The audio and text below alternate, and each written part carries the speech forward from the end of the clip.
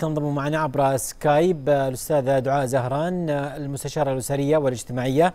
أهلا بك أستاذة دعاء معنا في قناة الإخبارية. يعني بداية دعينا يعني نعرف الإيذاء والفرق ما بينه وبين الإساءة الجسدية. بسم الله الرحمن الرحيم.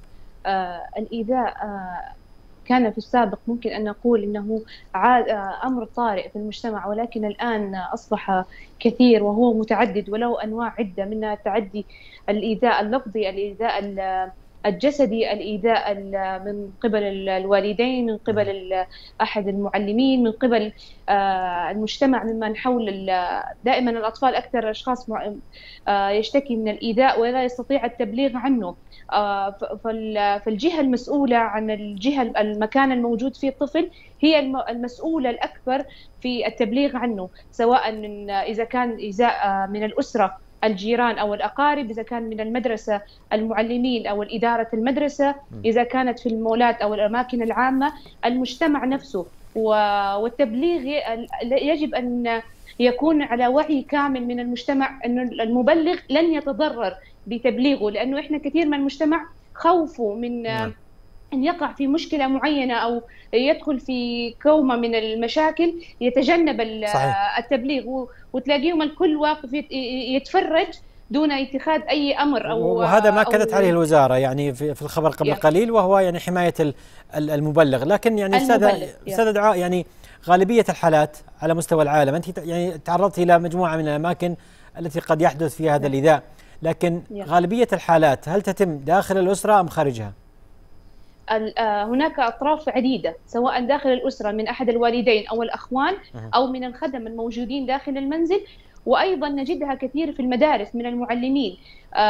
يكون يكون الطفل صغير في العمر ويكون الايذاء دائما جسدي بالضرب أو اللي هو التحرش الجنسي برضه ذلك يسمى ايذاء ويكون الطفل غير منبه من المنزل كيفية التبليغ عن هذا الأمر. فيكون الطفل أكثر خوف من من هذا الشخص المعتدي أو القائم بالايذاء عليه. فهنا تكمن المشكلة أكبر. سكوت هذا الطفل أو أو هذا الشخص الذي تعرض للإيذاء يجعله يعني أكثر عرضة أن يقوم به لطرف آخر. يعني الشخص القوي الذي تعرض الذي آذى الشخص ولم يعاقب عليه سيجد سيجد فرصة ثانية لإيذاء من غيره. ولا الشخص الذي تم الإيذاء عليه كمان سيجد شخص آخر أضعف منه ويقوم عليه بالإيذاء. ولكن الخوف إن هناك عقوبة لمن يتعرض أو من يقوم بهذا الأمر سيكون يعني رادع قوي إنه لا يستطيع صحيح. اي أي من كان سواء من داخل المنزل أو من خارجه أن يقوم بأي ايذاء بأي أنواعه لأي طرف كان. طيب أستاذ دعاء يعني الحديث عن الإجراءات المتبعة في حالة البلاغ أو تلقي البلاغ يعني قد تطول لكن يعني يعني نختصرها في عملية التواصل مع الحالة إجراء بحث نفسي وتقييم وضعها إذا كانت تستدعي يعني إيداعها أو ايواءها في دور الرعاية فيتم توفير يعني الحماية لها في في دور الرعاية، هل ينبغي برأيك يعني توفير عدد أكبر من دور الرعاية من المتوفر حاليا أم أنها أنها كافية؟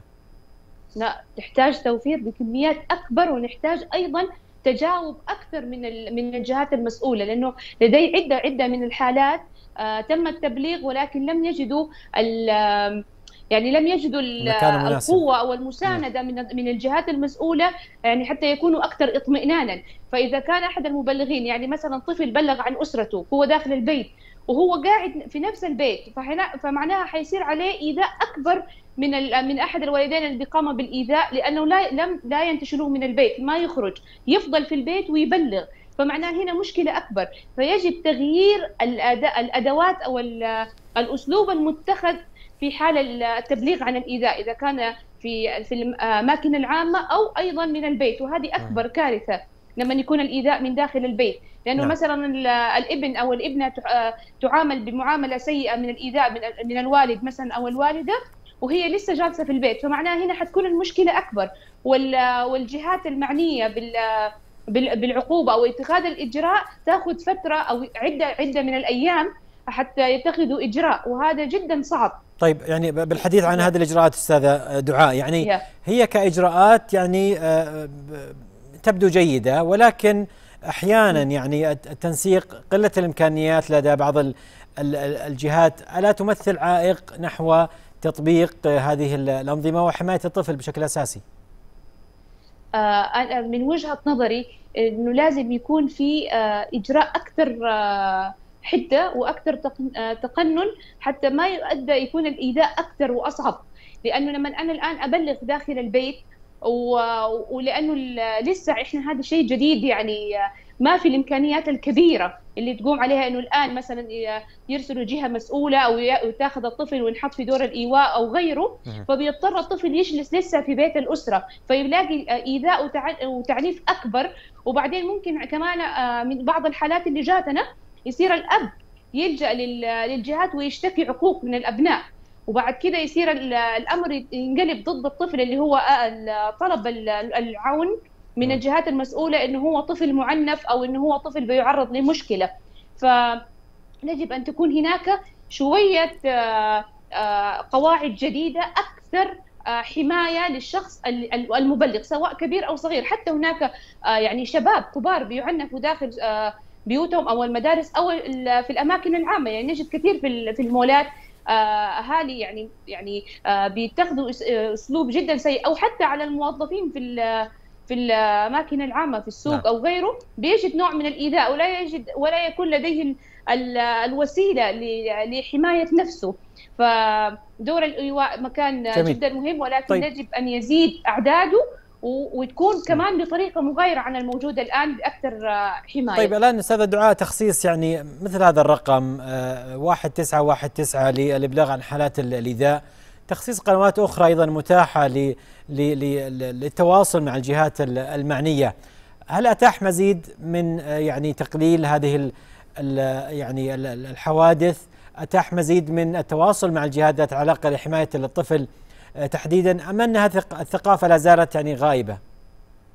آه، أنا أجد أكثر جهة استفادت من هذه البلاغات هي المدارس وأنا فعلا صادفت عدة من الحالات.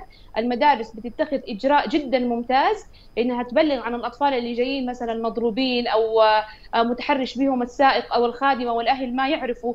فالمدرسة لها دور مرة كبير وفعلا لما تواصلنا معاهم نعم. يعني أكبر دور بيقوم فيه في هذه الجهات للتبليغ هم المدرسة لما بيلاقوا أي إيذاء على الطفل. أتمنى جميل. يكون حتى داخل البيوت حتى في المولات إحنا كثير بنشوف الدادات يضربوا الأبناء أو في أبهات يضربوا أبنائهم أمام الجميع أو حتى الرجل نعم. يضرب زوجته واضح. في في المول أيوه طيب. فيجب أن يكون هناك نعم وال والحوادث ربما يعني كثيرة والأمثلة التي قد تضرب في ذلك كثيرة لكن آه، أشكرك شكر جزيل على على ما تفضلت به آه، معنا في هذه الإطلالة